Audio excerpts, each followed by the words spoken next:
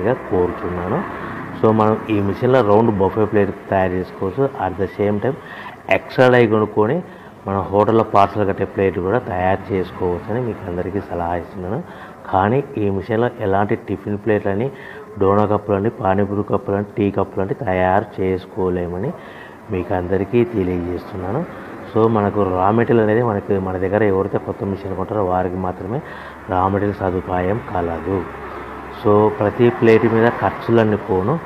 పది పైసల నుంచి పదిహేను పైసలు పది పైసల నుంచి పదిహేను పైసలు లాభాలు వస్తాయని మీకు అందరికీ తెలియజేస్తున్నాను. ఎవరైతే మిషన్ కొనుక్కొని రా మెటీరియల్ కొనుక్కొని తయారు చేసుకున్న ప్లేట్స్ మీ ఏరియాలో అమ్ముకునే విధానం ఉంటేనే వ్యాపారం మొదలు పెట్టవలసిందిగా అందరినీ కోరుతున్నాను